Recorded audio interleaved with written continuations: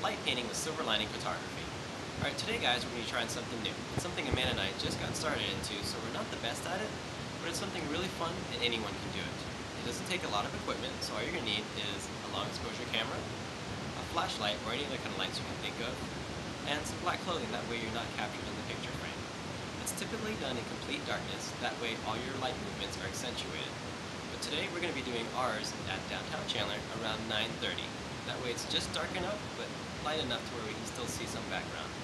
It's still pretty open to the public, so we're going to see a lot of people walking in and out, and a lot of people are going to be staring at me waving a flashlight in the air. But that's what makes it even more fun. Because all of this is done in the dark, my camera doesn't capture the video quality that well, so I apologize for any sound or bad lighting that you might see. So hopefully we get something out of it. So if you guys are ready, let's go see what we can do.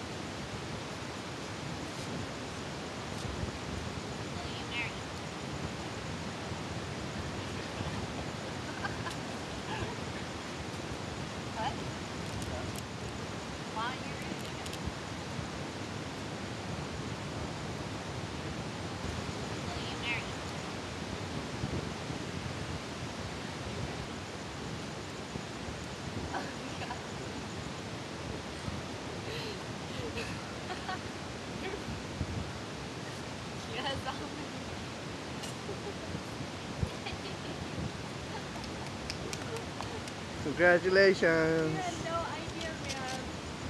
No idea.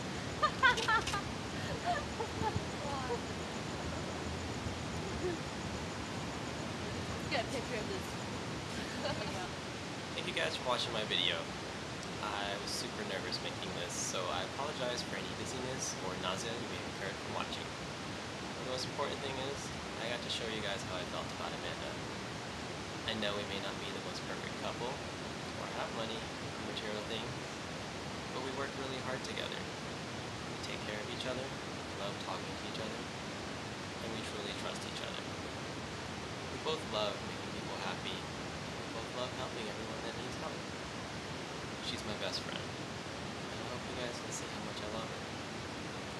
I wish there were moments that I could show you guys that her and I have had, but this isn't Jersey Shore. and I don't have a five-man camera crew following me around. So that's why I'm making this video. We're all such busy people, sometimes we only see what's on the surface. And the love that Amanda and I have, well, it's different. It's busy.